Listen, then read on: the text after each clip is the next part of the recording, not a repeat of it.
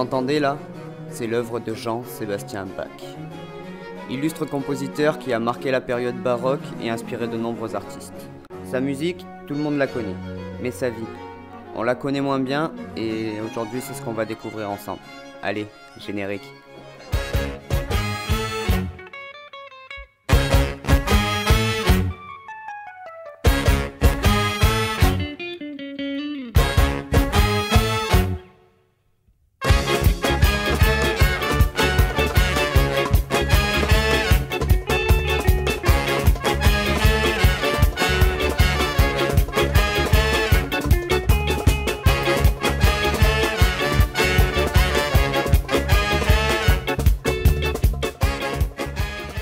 Notre histoire commence le 21 mars 1685 à Eisenach, où Elisabeth Lammerheim, épouse de Johann Ambrosius Bach, qui est lui-même musicien, met au monde un garçon.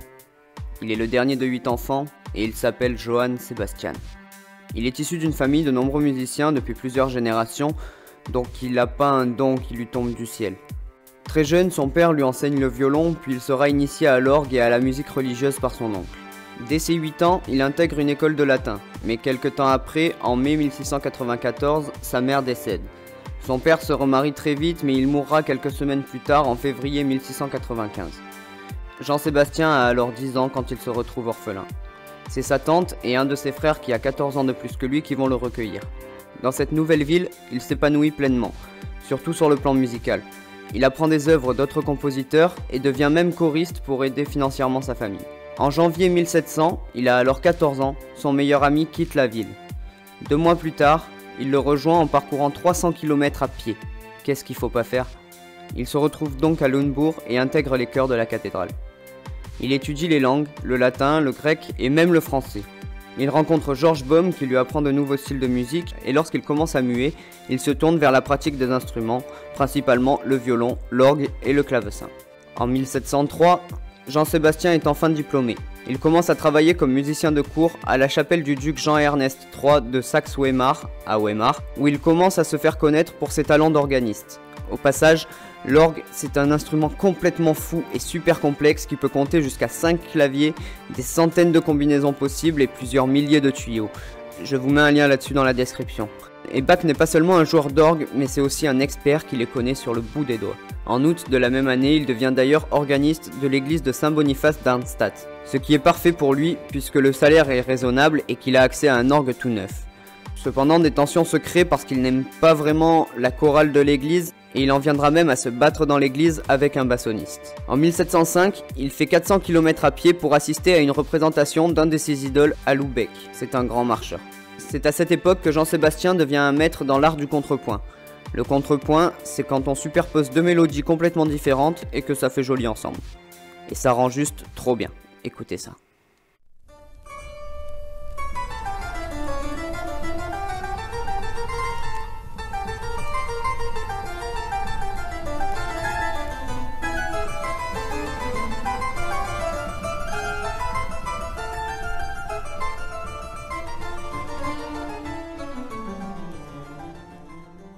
On lui reproche d'ailleurs de faire des arrangements si riches que les chœurs ne sont plus reconnaissables, et on va lui reprocher aussi de picoler pendant les sermons. Il va donc changer de ville et retourne dans le centre de l'Allemagne, et il passe un an à Mulhausen. C'est une période importante de sa vie, c'est là qu'il compose sa première œuvre, une cantate. On estime qu'il en a composé plus de 300 au cours de sa vie. C'est aussi à ce moment-là qu'il épouse Maria Barbara, qui n'est autre que sa cousine. Ils auront 7 enfants, dont 3 sont morts en bas âge. Il dirige un orchestre et donne même une représentation en 1708, mais il va encore une fois changer de ville pour une situation plus stable. Il retourne à Weimar. Il va passer presque 10 ans à la chapelle Guillaume II de Weimar en tant qu'organiste et premier violoniste. Là, il va composer de nombreuses œuvres, notamment ça.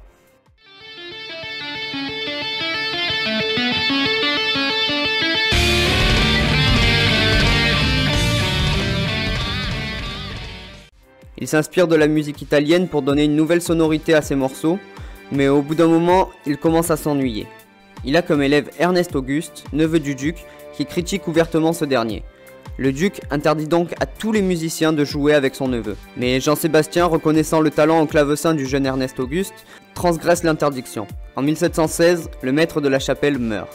La place doit revenir à Bach, mais le duc nomme quelqu'un d'autre. Jean-Sébastien se positionne alors ouvertement du côté d'Ernest Auguste et cesse d'écrire pour cette chapelle. Le prince Léopold d'Anhalt-Köthen, beau-frère du duc, profite de l'occasion et lui propose un poste de maître de chapelle à la cour de Köthen. Bach l'accepte, mais lorsque le duc l'apprend, il est condamné à un mois de prison. Il passe donc plusieurs années en tant que maître de chapelle à Köthen, où il va se prendre de passion pour la musique profane, en opposition à la musique sacrée.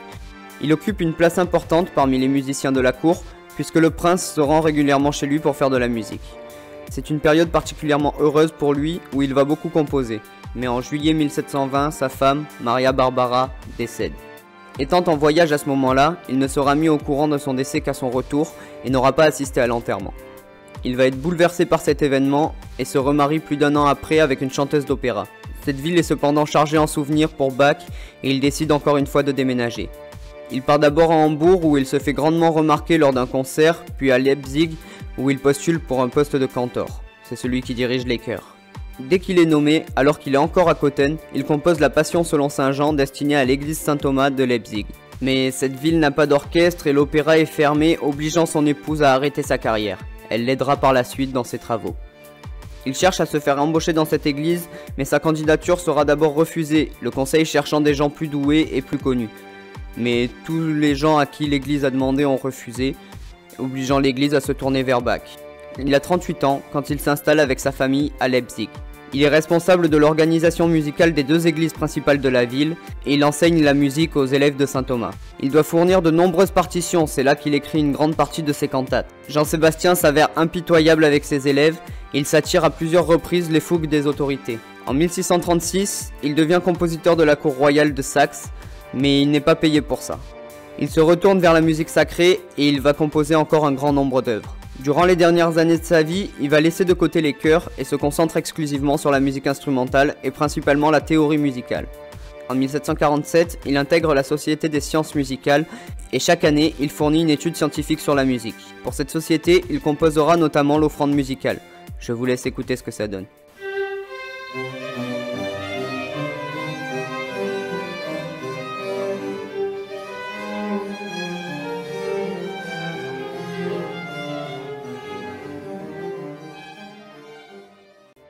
Le problème, c'est qu'à partir de 1745, il commence à perdre la vue et il sera assez vite contraint d'arrêter de travailler. En 1750, il subit deux opérations qui lui feront retrouver la vue un court instant. Il se retrouve très affaibli par ces opérations. Le 18 juillet 1750, il retrouve soudainement la vue, mais dans les heures qui suivent, Jean-Sébastien Bach décède victime d'une attaque. Jean-Sébastien Bach aura eu en tout 20 enfants, 7 de son premier mariage et 13 de son second. Seulement 10 d'entre eux survivront, les autres mourront en bas âge. Alors d'accord, il en a eu beaucoup et pour cette époque rien d'anormal. Mais perdre 10 enfants, faut avoir le moral bien accroché quand même. Bach aura eu tout au long de sa vie de nombreuses confrontations avec la justice à cause de sa musique qui ne rentrait pas toujours dans les normes de l'époque. Mais il a apporté énormément de choses à la musique, en pratique et en théorie, et il a grandement participé à son évolution. Pour finir, si vous ne l'avez pas vu, je vous conseille l'excellent spectacle d'Alexandre Astier qui s'appelle Que ma joie demeure et qui traite extrêmement bien le sujet. Soyez curieux, écoutez la musique de Bach et ses homologues. Moi je vous dis à très vite pour une prochaine histoire.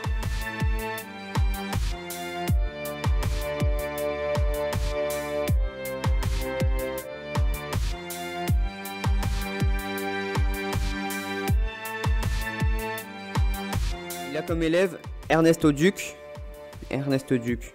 Ernest Duc, salut